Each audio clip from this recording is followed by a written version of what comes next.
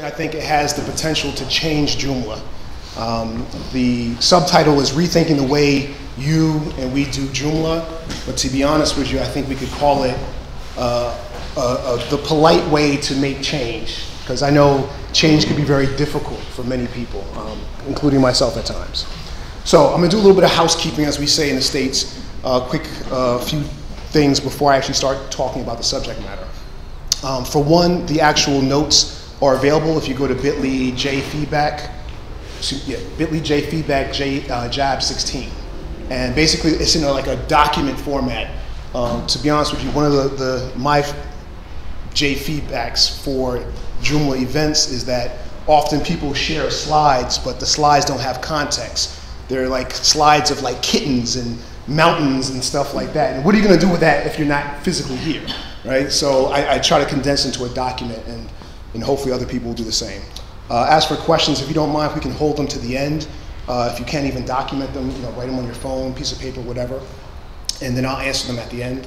And then also, I know that everyone here, and as well as anyone watching this via video, um, they may not be native English speakers, so I'm going to try to speak slowly and simple to ensure that everyone understands what I'm saying. I'll try. I get excited and I talk fast sometimes, so please. Now, my goal for this presentation is to have everyone feel like me, and that is to love J feedback. Because uh, as I said earlier, I feel as though feedback is the key to change and to greatness. Um, for me personally, I have a, a perspective where whatever I do or things that I love to do, I want to do it in a sense of or in a spirit of excellence or greatness. And that's not an easy thing to do. It takes time, it takes refinement, and it can only be done with feedback. So let's talk about the history of J feedback for a second. I'm going to go back in time, okay, time capsule, back in time. And it kind of starts with my youth, okay? I'm kind of hardwired, at least I believe it to be the case, hardwired to be kind of rambunctious. Um, I'm very opinionated. Um, it's just who I am. In fact, I think I kind of get it from my mom. She's kind of like that too. So I'm hardwired ever since my youth to always have an opinion on something. Okay? Now, moving a little bit forward, in undergraduate, I uh, studied business with a concentration on marketing, right? And I, I, learned a very, very, very valuable lesson when I was an undergraduate.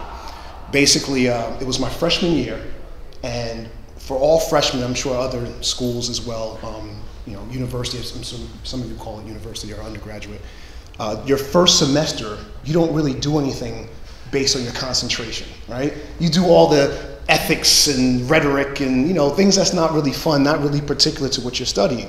And that was the case with me. So um, one day I was going to see one of my professors, and I noticed there was a bookshelf. And on the bookshelf were obviously books, right? and, um, but on the bookshelf was a sign that said free. And I'm just like, what, why are these books free? So I asked, you know, one of the professors, and I found out that basically when the salespeople would come to sell the books to the college, obviously there's only going to be one book for each class. So all the other books, instead of throwing them away, they would put them on the shelf. So I said, you know what? I want to learn marketing. There's marketing books on the shelf. Let me grab one.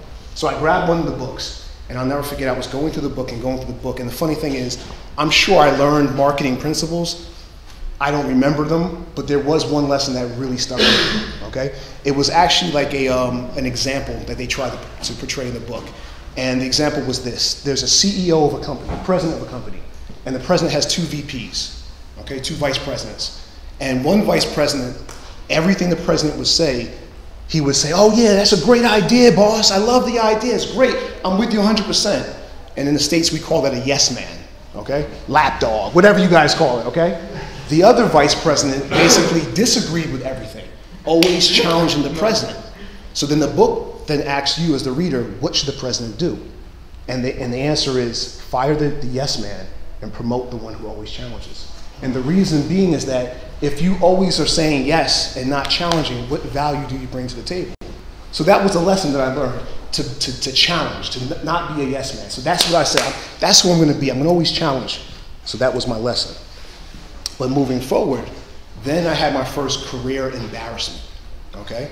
Uh, a friend of mine's older brother had received some money to, to do a startup.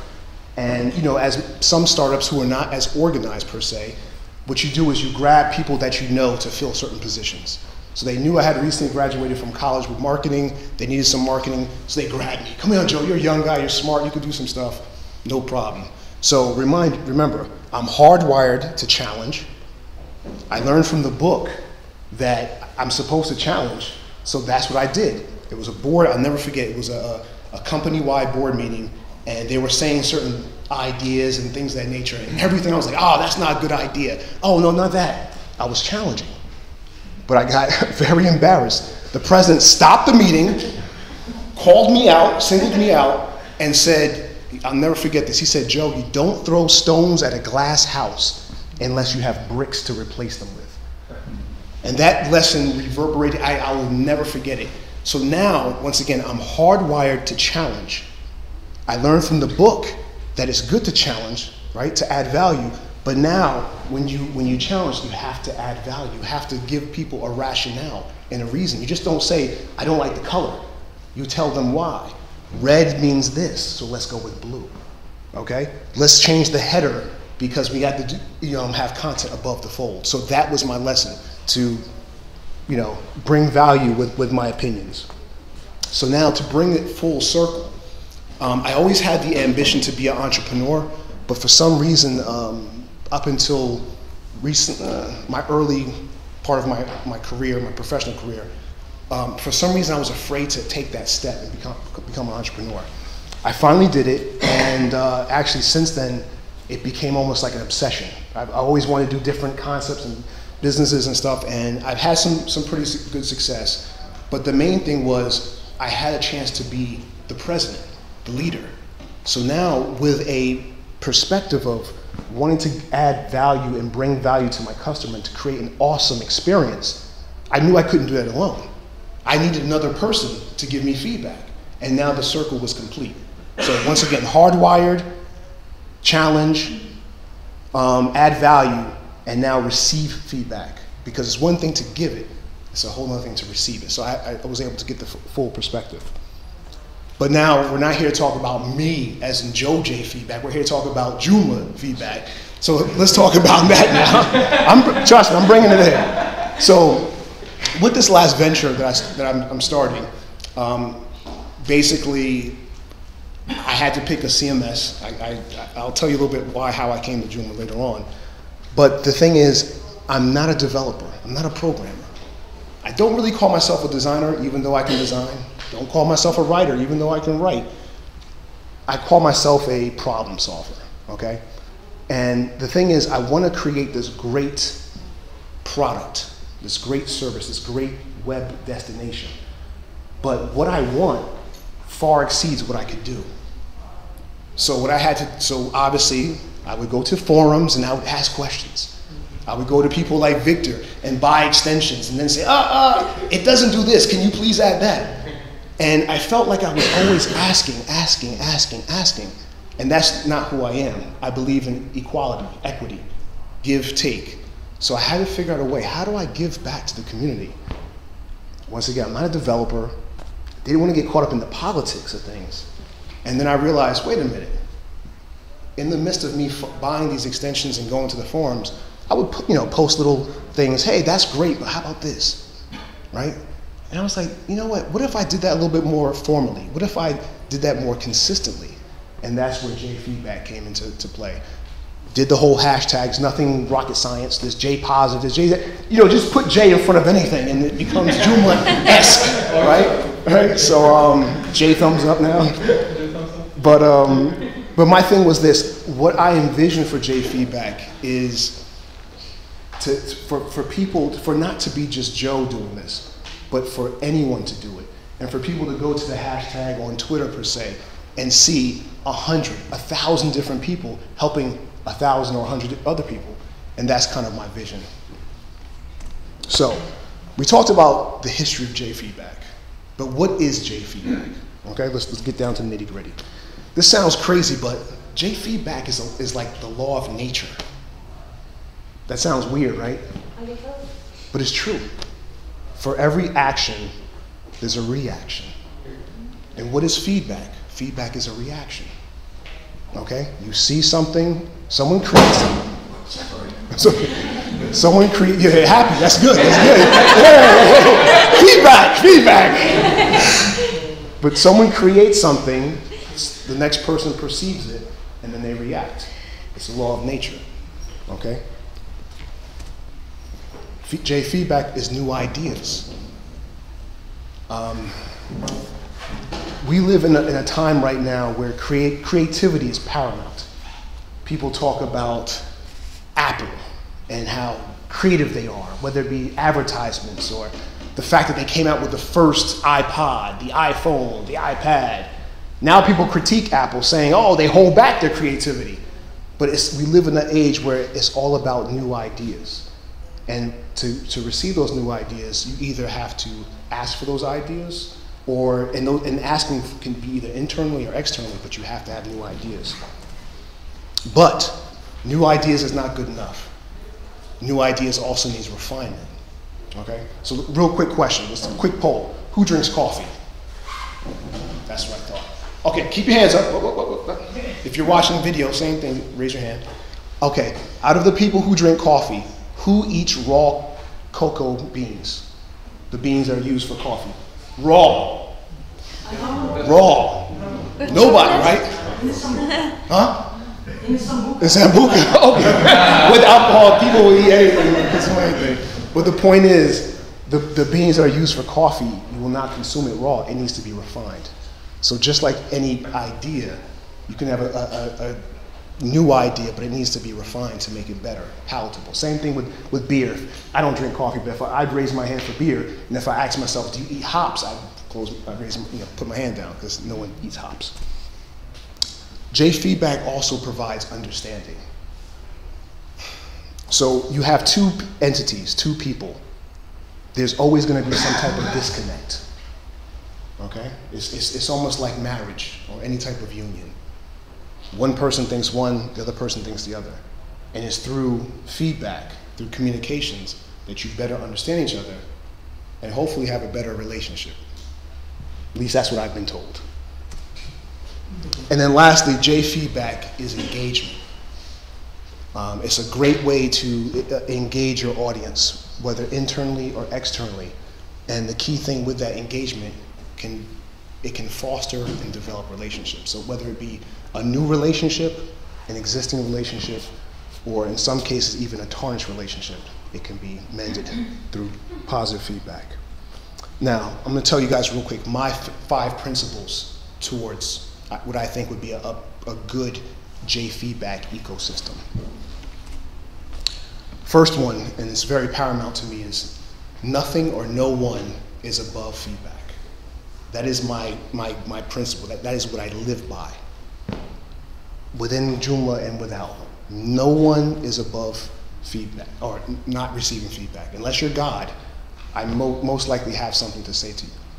Okay? So I've done it with small startups that literally did not have their legs yet. They just, you know, hey, hey Joe, I just posted my, my first web page. My, I got feedback from you. Yeah, let me tell you what you did wrong, or what I think you did wrong, what, what I think you could do better. I've done it with major corporations like Hallmark. I was on their website one day doing research, and saw dead links. This is Hallmark. Hallmark is a multi billion dollar company. Why do you have dead links? I've got feedback for you. The message is greater than the messenger. Um, very important. I, I find that a lot of people, unfortunately, either one, feel as though that their stature, their presence, their title um, provides them the ability to, to provide feedback and think it's going to be heard.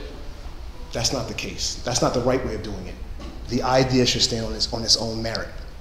Um, same thing um, if someone is quote unquote not of certain stature, not within the community, um, not of a certain level, whatever it may be. Same thing, if their idea is right, then they deserve the merit to be heard. Um, I, I tell people that if a five year old stopped me in the street and said, Mr. Joe, you should do such and such differently. Little kid, you're right. I will do it, I'll make that change, and then I'll, I will let them know when I make that change. But that's just my personal perspective.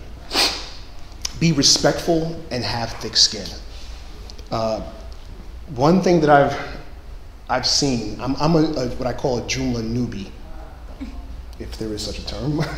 uh, but in my few years of, of uh, being involved in Joomla, I've seen a lot of different stuff. I've seen a lot of conversations go back and forth between people. Um, some of them not as pleasant as they should be. Um, and my thing is, we have to be respectful towards each other. How are we supposed to, to make progress if we're not respectful? Um, but at the same time, you have to allow for open and honest conversation. And for that, you may be blasted, as they say. You, someone may really come down hard on you with good cause, and you have to have thick skin. So, another principle. Document your ideas. Uh, I'm a firm, I, I, I constantly have thoughts, ideas for a number of different things. And I personally believe that to honor your ideas, you have to document them. Um, you should, I mean, we, we have no excuse nowadays. We, we live in an age where you always have a device on hand to capture your ideas. So you have no reason why not to, oh, I got an idea for such and such, navigation or whatever it may be. Do document it because it may get, you may forget it. You may see somebody or start drinking something and God forbid drink too much of something and you really could forget that, the idea. So please document your ideas. And, and sometimes I, I find that it's easy, it's easier to document your own ideas, but if you have feedback for somebody else, sometimes you're like, ah, yeah, I'll get to it later. But the reality is if, if we have respect for one, each, one another and we try to help one another, we should treat other people's projects just as our own. So for me, I, I know it sounds crazy, but I probably, I could literally take a whole day and share the J feedback I have for various things. Talking from the community magazine to various Joomla. I mean, this is what I do. I don't share everything because I don't think everything is, people are ready for everything, but I document all my ideas because I try to honor my ideas. And then lastly, the last principle is what I call the golden feedback rule. And that's basically if you have feedback for somebody, to honor that feedback, you should, to, you should be able to at least help them in some form to implement the idea. Okay? Now, I'm not saying if you, if you tell somebody a million, uh, let's say, a hundred different points of change on a website or an article, whatever it is, I don't expect you to rewrite the article, right? I don't expect you to, to redo someone's website. But in, in, in the in spirit of, of cooperation, you may do something as little as, hey, here are some, some thoughts, here is some feedback. When you're done, get back to me. Let me, let me just look over it for you. Okay? It doesn't have to be anything major, just a small thing to help the process. But the reality is, if someone feels as though you're willing to invest in the idea, then most likely they think you think it's a good idea. So, once again, you have to be able to help people. Now, J feedback in con context to organization. I'm going to talk about two different contexts. We have, we have organizations and then we have individuals. Okay. So in regards to organizations, I have what I call the three R's that we should do. One, we should request.